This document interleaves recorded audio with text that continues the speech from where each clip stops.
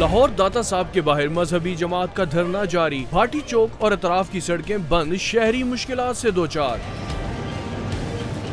खादिम हुसैन रिजवी का कहना है कि मुजाकराती टीम के कहने पर मजीद दो दिन का टाइम देते हैं। तहरीक लब्बाइक के कारकुनों और पुलिस एहलकार के दरमियान हाथापाई। धुनाई के बाद पुलिस एहलकार को कारकुनों ने धमकियाँ भी दी।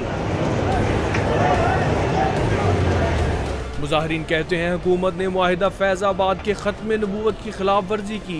आइंदा कौन उनका एतबार करेगा? हुकूमत और जामिनों को अपना किरदार अदा करना होगा। जब तक माहिदे पर मनोअन अमल नहीं होता, धरना जारी रहेगा। कैमरामैन हाफिज बाबर के साथ, जुबैर साजिद ढिल्लू न्यू न्यूज़ लाहौर।